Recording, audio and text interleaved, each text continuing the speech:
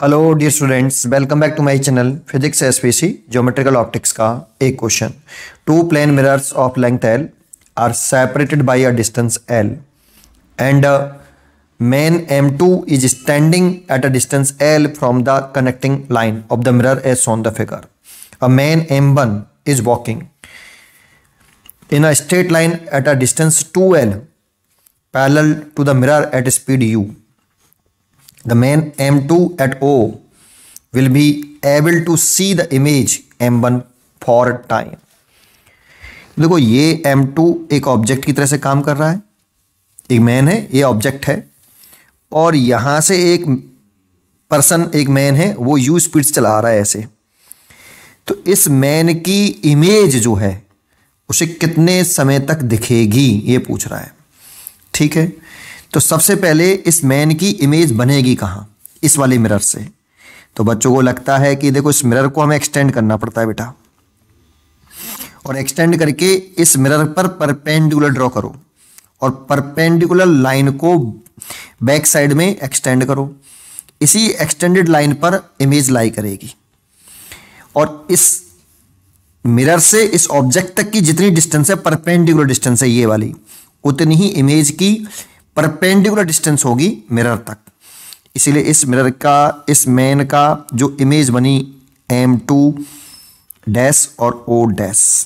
इस जगह बनी और ये से कितनी दूरी पे बनी एल दूरी पे बनी बेटा ठीक है ये परपेंडिकुलर डिस्टेंस और ये परपेंडिकुलर डिस्टेंस बराबर है इसी मिरर इसी इमेज को देखना चाहता है ये वाला पर्सन तो वो रीजन निकालो पहले जिस रीजन में जिस रीजन में ये मिरर ऑब्जेक्ट ओ की या मेन एम टू की इमेज दिखाई दे रही है वो रीजन देखना पड़ेगा पहले तो जब चेक करते हैं ये ऑब्जेक्ट है इसको इसके नीचे वाले एंड से मिलाओ बेटा चलो इस पर कर लेता हूँ पहले इसके इस वाले एंड से मिलाओ पहले ये मिला दिया ये इंसिडेंट रे हो गई इसको ऑब्जेक्ट मानने बेटा ये ऑब्जर्वर हो गया ये ऑब्जेक्ट हो गया लेकिन इसको नहीं देखना है देखना इसकी इमेज को है ठीक है तो इमेज बनी आपकी यहाँ पे जाके ऐसे ठीक है ये रिफ्लेक्टेड रे हो गई बेटा ऐसे सीधे बढ़ा लो ये रिफ्लेक्टेड रे है ना तो अगर ये मिरर नहीं होता तो ये वाली इमेज ये वाली जो रे है वो ऐसा लग रहा होता कि ये रे इस वाले पॉइंट से आ रही है एम टू डे से इमेज से आ रही है तो एक पॉइंट तो ये हो गया हमारा रिफ्लेक्टेड रे हो गई है एक और रेज निकालो बेटा यहां से यहां ऐसे दूसरे एंड पर इंसिडेंट रे हो गई है और इसकी इमेज तो यहीं बनेगी ये ये बना ली इमेज और इसको सीधा बढ़ा दो ये वाला देखो ये तो देखो ये कौन सी रेज हैं इंसिडेंट रे और ये कौन सी रे है रिफ्लेक्टेड रे तो रिफ्लेक्टेड रे जिस पॉइंट पर मीट करती है वो इमेज हो गई है ना तो ये वो रीजन है जिसमें आपकी इस इस वाले मिरर से हमें इस मिरर M2 की इमेज दिखाई देगी देखो अगर आदमी यहां पर है ऑब्जर्वर ये वाला ये वाला जो ऑब्जर्वर है अगर वो यहाँ है तो इसको ऐसा लगेगा कि जो ये रे है वो इस जगह से आ रही है अगर ये मिरर नहीं होता तो इस जगह से आती हुई दिखाई देती और ऐसी ये वाली रेज यहाँ से आती दिखती और बीच में भी ऐसे नहीं और भी रेज होंगी इस ऑब्जेक्ट से इन्फाइनेट रेज निकली होंगी ऐसे नहीं और सारी रेज इसी रीजन में होंगी तो ये वो रीजन हो गया पी क्यू जिस रीजन में एम टू की इमेज हमें दिखाई देगी तो ये डिस्टेंस हमें निकालनी है तो सबसे पहले हम ये डिस्टेंस कैसे कैलकुलेट करें उस पर ध्यान दें मान लेते हैं कि ये वाला पॉइंट आपका के है और ये डिस्टेंस यहाँ से यहाँ तक ये आपकी वाई वन है और ये डिस्टेंस यहाँ से यहाँ तक ये वाई टू है और हमें ये रीजन की डिस्टेंस निकालनी है तो पर अगर वाई वन और वाई टू निकाल लूँ तो ये निकल आएगा ये कैसे निकालें ज़रा समझो ये इस वाले पॉइंट को डाल लेता हूं मैं पी हम्म, तो नहीं डाला कहीं पी डाल लेता हूं और इसे डाल लेता हूं क्यू तो आपको ट्राइंगल देखो कौन सा वाला पी क्यू ओ डैस ये वाला ट्राइंगल ये वाला सिमिलर है किसके इस बड़े ट्राइंगल के इस वाले ट्राइंगल के कौन से वाले के ट्राइंगल के पी और ओ डैश के क्यों सिमिलर ट्राइंगल होने के लिए दोनों ट्राइंगल की दो प्रॉपर्टी इक्वल होनी चाहिए और कॉन्गन प्रूव करना है तो तीन प्रॉपर्टी इक्वल होनी चाहिए तो इस ट्राइंगल की देखो ये एंगल 90 डिग्री है इसका ये 90 डिग्री है और ये एंगल दोनों ट्राइंगल के लिए कॉमन है इस ट्राइंगल के लिए भी और इस बड़े ट्राइंगल के लिए भी कॉमन है तो दो दो प्रॉपर्टी तो प्रूफ हो रही है इक्वल इसीलिए दोनों ट्राइंगल सिमिलर ट्राइंगल है अब सिमिलर ट्राइंगल की कंडीशन लगा लो इसमें ये वर्टिकल साइड लिख रहा हूँ छोटे ट्राइंगल में ये वाली तो देखो ये जो था ये एल था और ये इसका मिड पॉइंट था तो ये वाली डिस्टेंस एल बाई टू हो गई ये पूरी एल तो ये वाली कितनी L by two P Q कितनी एल बाई टू तो एल बाई टू लिख ली डायरेक्ट लिख रहा हूँ वर्टिकल साइड लिखी है छोटे ट्राइंगल की इस वाले ट्राइंगल की इस बड़े ट्राइंगल की वर्टिकल साइड लिखो कितनी है वाई वन इक्वल लगाओ छोटा ट्राइंगल ऊपर रखा है तो छोटे ट्राइंगल की हॉर्जेंटल लाइन लिखो ये वाली कितनी है बेटा ये एल थी तो ये एल दूरी पर ही इमेज बनी थी ये लिख रहा है नीचे तो एल अपॉन बड़े ट्राइंगल की ओरिजेंटल साइड ये देखो तो देखो ये साइड हमें क्वेश्चन में दे रखी है मैं बना नहीं पाया ये टू एल साइड है ये वाली ठीक है तो ये टू एल है और ये एल है तो ये कितनी हो गई थ्री एल तो यहाँ थ्री एल लिख लो और एल से एल काट दो इसका समल्टीप्लाई कर लो तो वाई वन इजुकल टू आ गया थ्री एल वाई टू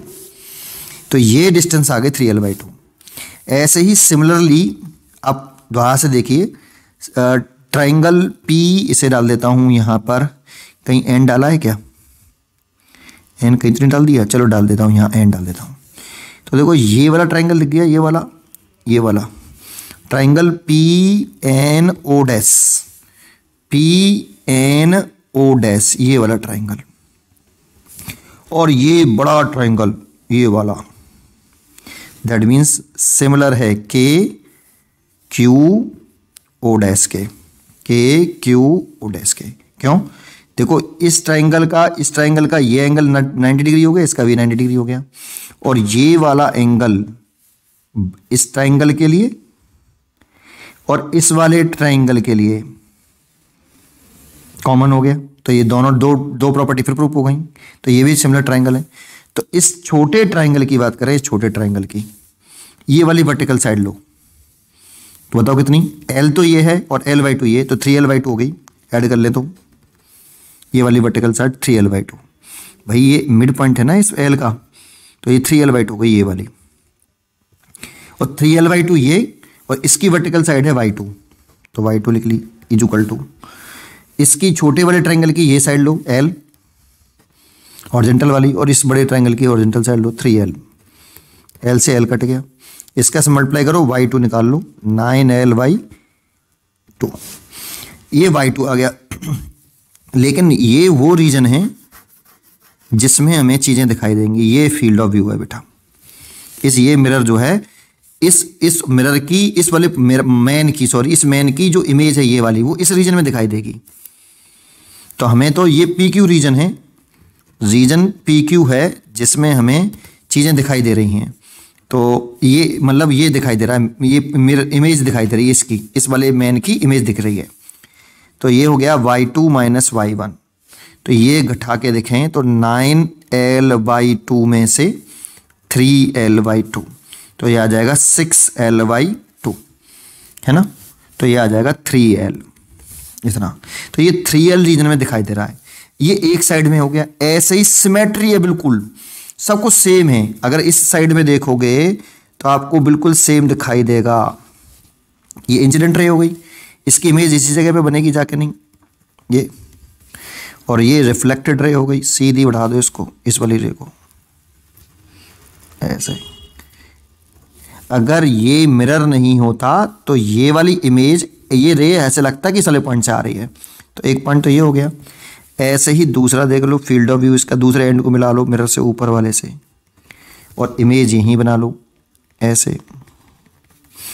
यहाँ पे ये परपेंड ड्रॉ करोगे ना ऐसे तो ये रिफ्लेक्टेड रे ऐसे जाती हुई दिखेगी ये ऐसे दिखेगी ये मिरर नहीं होता तो ये यहाँ से आती दिखेगी तो ये वाला पी डैस और ये वाला क्यू डैस ये वो रीजन है जिसमें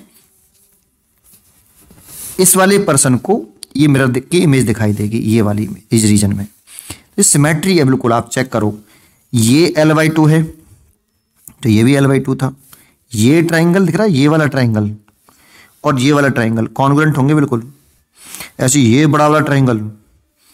और इसमें ये वाला बड़ा ट्राइंगल कॉन्ग्रेंट होंगे तो जो चीज़ नीचे हो रही है उतना ही रीजन ऊपर है सिमेट्री चेक करिए आप आपको दिखाई देगा इसीलिए ये जो रीजन होगा इसे निकालने की जरूरत नहीं है सिमेट्री है बिल्कुल पी क्यू रीजन और P dash Q region same होगा दैट मीन्स ये भी थ्री एल ही होगा तो इस रीजन में मिरर ऑब्जेक्ट को इस मैन एम वन को इस रीजन में इसकी इमेज दिखाई दे रही होगी और इधर इस रीजन में दिखाई दे रही होगी तो इतनी डिस्टेंस में दिखाई दे रही है इतनी डिस्टेंस में दिखाई दे रही है तो टोटल टोटल डिस्टेंस जिसमें दिखाई दे रही है